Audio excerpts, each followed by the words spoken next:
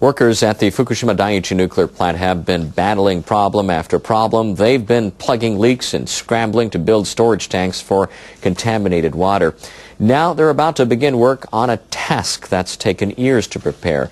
They're ready to move the fuel rods from the damaged reactor buildings to a safer location. NHK World's Yoichi Tateiwa has more in today's Nuclear Watch. The media entered Fukushima Daiichi on Wednesday to see the number 4 reactor building. The building contains more than 1,500 fuel units. Most of them have been used. They're extremely hot, highly radioactive, and experts say they need to be kept cool for 30 to 40 years. The rods are stored in a pool about 20 meters above ground. The water traps radiation and keeps the rods cool. But a hydrogen explosion in 2011 weakened the building's structure. Experts say the rods must be moved to a safer place. Managers of Tokyo Electric Power Company have been preparing to start the job for the last two and a half years.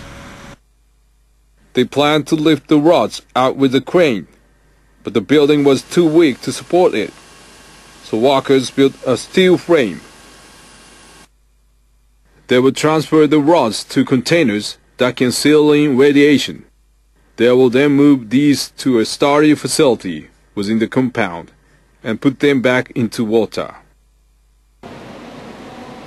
The job is far from straightforward. The workers have to maneuver the rods underwater to prevent any radiation from escaping and they will have to cope with high levels of radiation, up to 200 microsieverts per hour.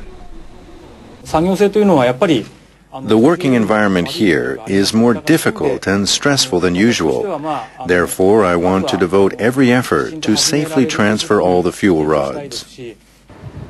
TEPCO officials say it will take more than a year to remove all the rods from reactor number 4. Then, they will have to do it all over again at the three other reactors.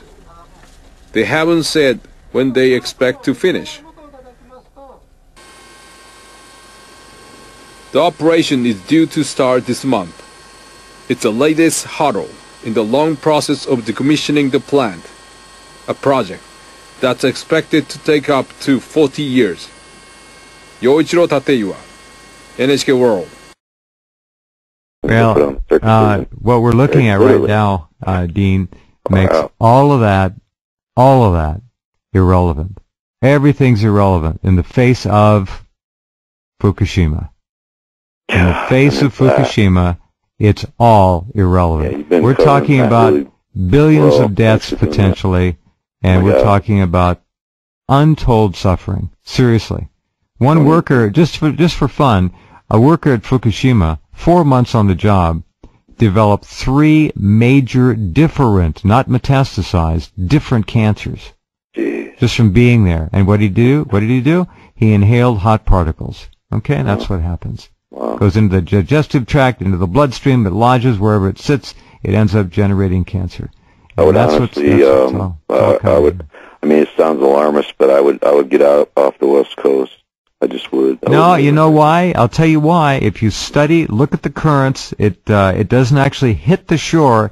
It Hmm. it rebounds. It backs away from the shore. But that's not the point. The point is it will evaporate and go into the air, and the moisture, of course, will be directed by what? Well, By the jet stream. It'll take it all over the country. It'll go It up and over Seattle, over Vancouver. It I can go down can go down under San Diego, right through LA. It can go anywhere. It can go, come down from Canada all across the Midwest, right into your backyard, Dean. You, Yeah. you know, it, there's nowhere to hide. it's, there's uh, nowhere to out of run. bottle.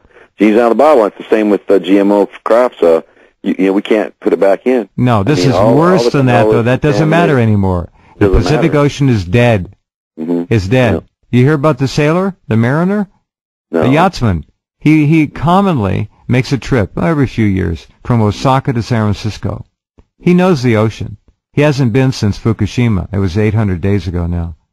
He made the trip 4,000 miles, 3,000 nautical miles from Osaka to San Francisco. He saw during the entire trip two fish, one bird, and one whale with an enormous tumor on it. That's all he saw during the whole trip. He said the ocean is broken.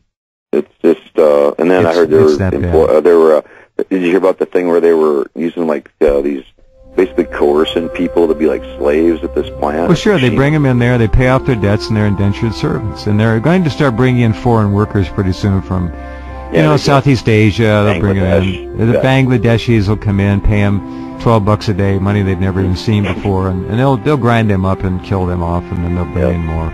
There's They're no way to killing fix it. No way to fix Yep. it. The head of Tokyo Electric Power Company says the utility is preparing a new report on the crisis at the crippled Fukushima plant. The announcement comes as the company tries to gain understanding to restart two other reactors in central Japan. TEPCO managers released their first report on the nuclear disaster in June last year. The evaluation was based on the company's own investigations, but many questions were left unanswered. So TEPCO President Naomi Hirose says the company is preparing another report.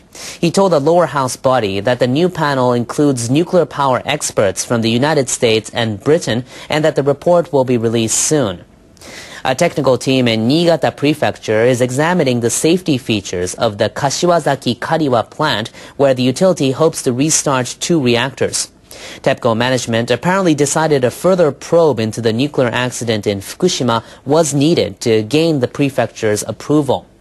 Hirose says a copy of the report will be given to Niigata officials for review. An executive of Japan's ruling party has suggested the government may not be able to achieve its decontamination goal for areas near the crippled Fukushima Daiichi nuclear plant. He hinted that the government may need to review its target. Liberal Democratic Party Secretary General Shigeru Ishiba cited a report submitted last month by the International Atomic Energy Agency to the Japanese government. The report said the international standard for radiation exposure ranges between 1 and 20 millisieverts per year. The Japanese government has set a goal of 1 millisievert per year for areas surrounding the plant. The report says that target cannot be achieved quickly through decontamination efforts alone. It calls for government officials to make that clear to people living near the plant. Ishiba said the Japanese government should carefully analyze the team's recommendations and study decontamination standards in other countries. It's not desirable for people affected by the situation to be without the prospect or hope of change. He said the government and the LDP should hold a serious debate over how to improve the situation.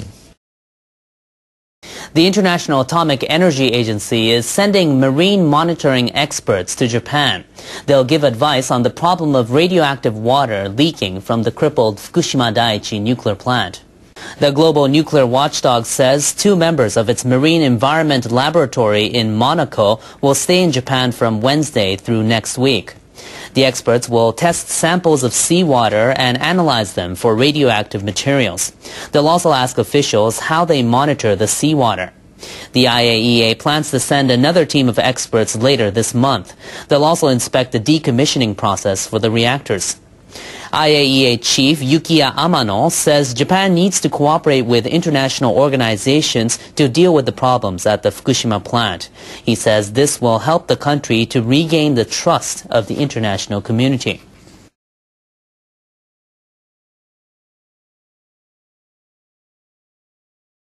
Japanese officials are looking to set up future safeguards for nuclear power.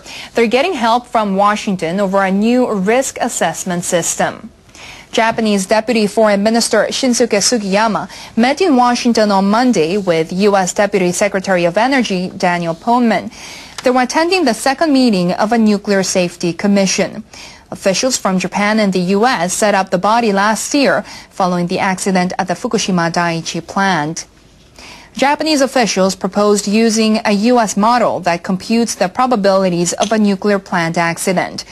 The system quantifies factors like natural disasters, malfunctions, and human error to determine high-risk areas. Experts from both sides will put their heads together on how to implement the system in Japan.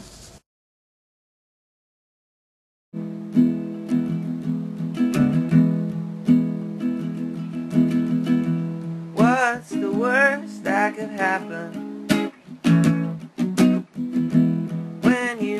Out there and try You know your life suddenly just end In the blink of an eye So what's the worst that could happen? You could try, you could fail.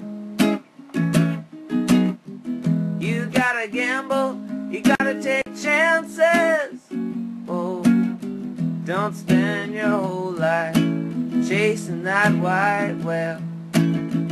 Don't spend your whole life. What's the worst that could happen? What's the very, very worst? In order for the worst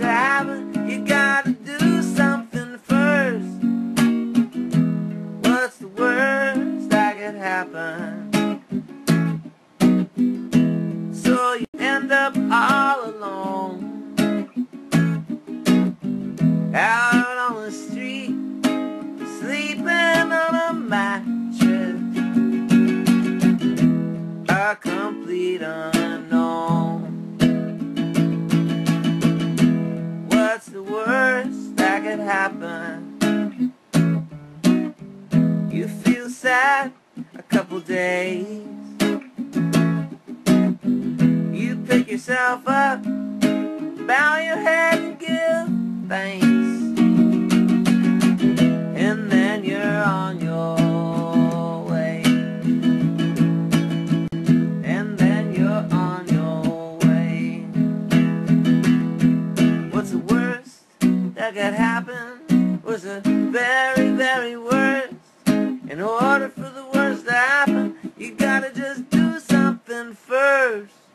So, what's the worst that could happen?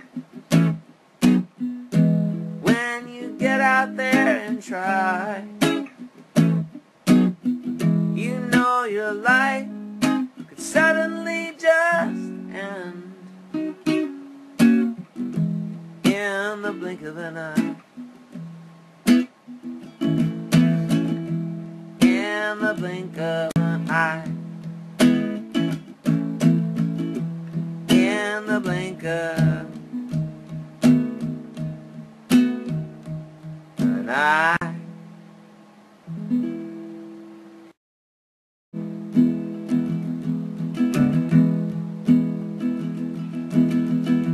What's the worst that could happen?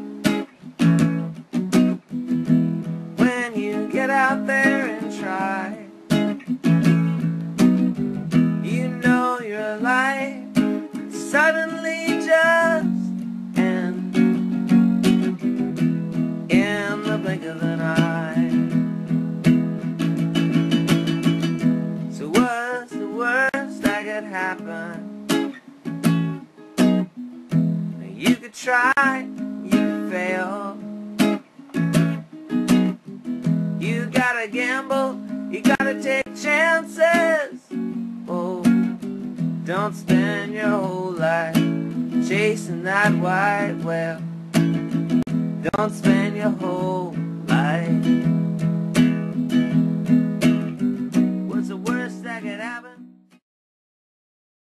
Global warming campaigners often focus on the production of carbon dioxide, but weather officials in Japan are looking at how the gas gets absorbed into the world's oceans. Japan Meteorological Agency personnel say there's 1.4 times as much carbon dioxide in the atmosphere as there was around 250 years ago. Scientists say levels are curbed by absorption of the gas into the sea. Agency analysts have collected water samples from around the world. They've been studying how much carbon dioxide gets soaked up. The experts posted the data online. They found areas like the Northern Pacific and Atlantic in dark blue to absorb carbon dioxide. Waters close to the equator are red, meaning they release the gas. They say the world's seas absorb more carbon dioxide than they release. And they say annual oceanic absorption grew over the past two decades to reach 2 billion tons in 2011. Now, Japan's agriculture ministry may stop a subsidy program for, for rice farmers. The policy was implemented 40 years ago to stop rice prices from falling. Now, since the early 1970s, ministry officials have set annual rice production targets with quotas for producers. Each participating farm receives a subsidy. The officials are planning to end the rice production adjustment program by fiscal 2018. The policy has been criticized for inflating prices and rewarding a lack of innovation. The officials hope the change will help the industry brace for cheap imports through the Trans-Pacific Partnership Trade Pact. Well, people in developing nations need help dealing with climate change. Help from people like the Japanese who are considering extending billions in financial aid. Ai Uchida joins us now from the business desk. Tell us What's in it for the Japanese? Well, Catherine, they might be trying to offset international criticism for having to downgrade their own uh, carbon emissions uh, target that you just told us about, Catherine. So uh, the government officials here in Japan will announce a new plan at the upcoming UN conference to support developing countries fight global warming. They plan to commit to $16 billion worth of aid. The funds will go to Pacific Islands as well as Asian and African countries facing sea level rises and climate change. They'll be provided over three years through 2015. The plan is to counter storm surges as well as construct thermal power plants less harmful to the environment.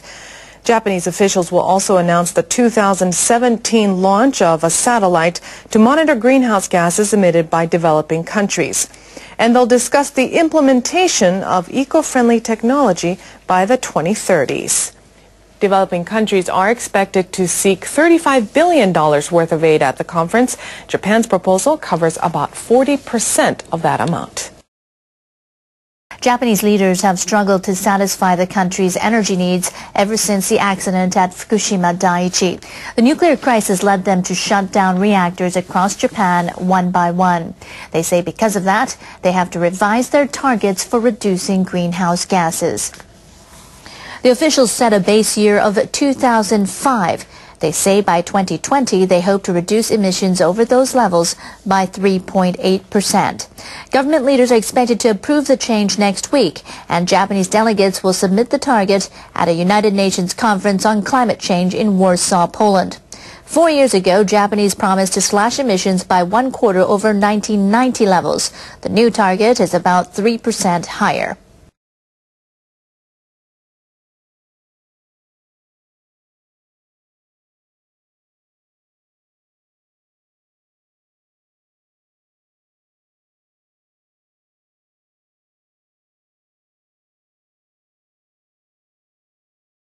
Cases of mislabeled food are appearing one after uh, the other at hotel restaurants in Japan. Now, long-established department stores are also involved. We sincerely apologize to customers for causing this trouble. We are very sorry.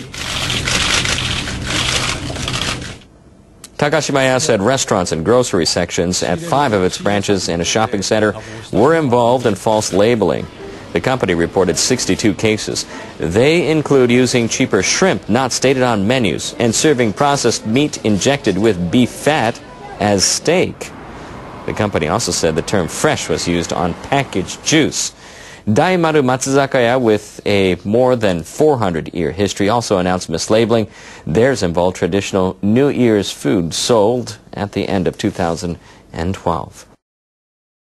Japanese fishermen have started hauling in one of winter's prize catches, snow crabs. Crabs are a seasonal delicacy showing up in everything from sushi to hot pot soups.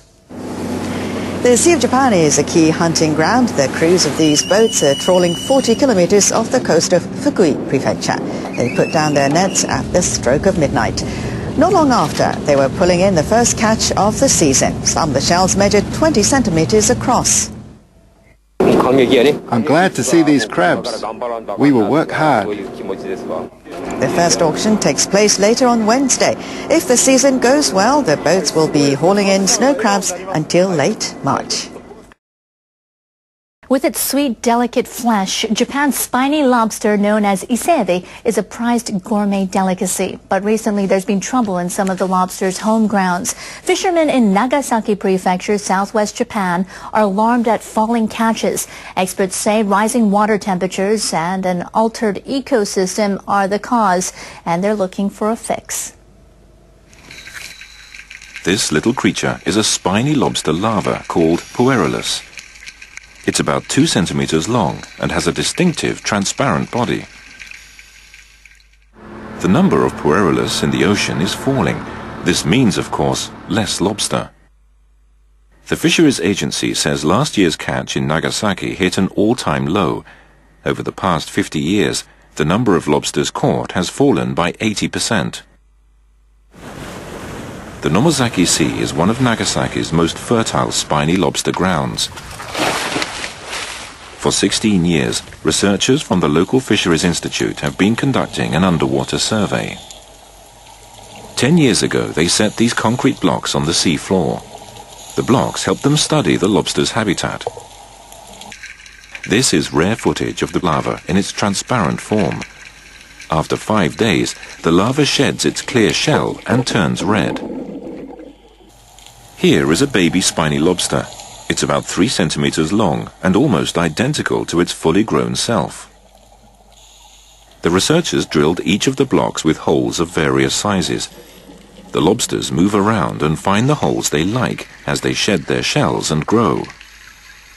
But despite this cozy sort of apartment building, the number of lobsters per block this year have fallen to one-third their peak of about 70. To investigate, the researchers looked into the lobster's life cycle. This picture was taken three years ago. It shows one of the concrete blocks covered with a tall variety of seaweed called Sargassum macrocarpum. The larvae are born close to land. After drifting in the open seas for nearly a year, they return as Puerulus. They descend to the ocean floor by grabbing onto seaweed. They mature as they feed on the creatures that live there. The seaweed is essential for the spiny lobster to form colonies. But now conditions have changed. Last autumn, ocean temperatures rose and the fish that eat the seaweed were active for longer. Researchers say the resource was depleted all across Nagasaki. The problem is that the seaweed is disappearing and it is having difficulty recovering to its original state. In an effort to restore the environment, Workers for Nagasaki Prefecture have planted seaweed in 400 concrete blocks which they will install on the seafloor. The blocks will be enclosed by nets.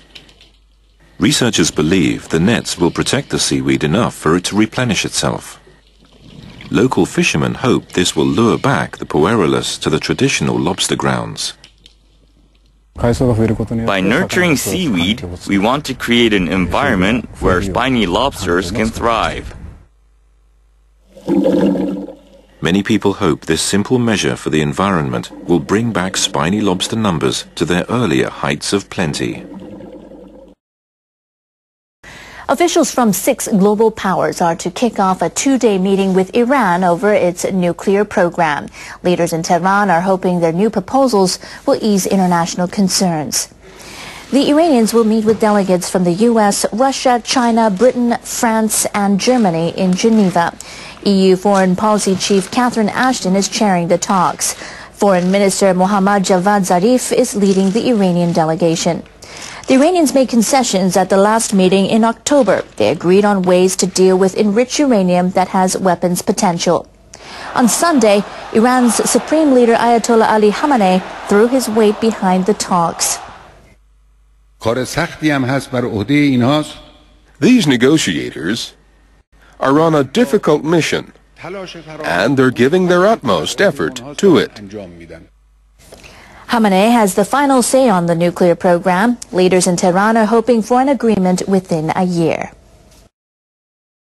Envoys to the six-party talks on North Korea's nuclear program have been engaged in a series of meetings. They're looking at the possibility of restarting the negotiations.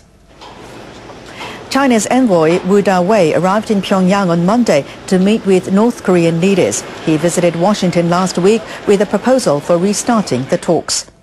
U.S. Representative Glyn Davies discussed the proposal with his South Korean counterpart Cho Tae-yong. In all, about four hours of uh, discussions, uh, very wide range, and talked about all aspects of the uh, North Korea issue, and we will come back uh, to the table tomorrow. Davies and Cho plan to sit down with a senior Japanese official on Wednesday. Junichi Ihara is chief of the Foreign Ministry's Asian Affairs Bureau. Negotiators to the six-party talks last met nearly five years ago. North Korean officials want to resume the talks without preconditions. China chairs the forum and its leaders back the North's position. But officials in the US, South Korea and Japan want to see concrete action first. They're calling on leaders in Pyongyang to make progress on denuclearization.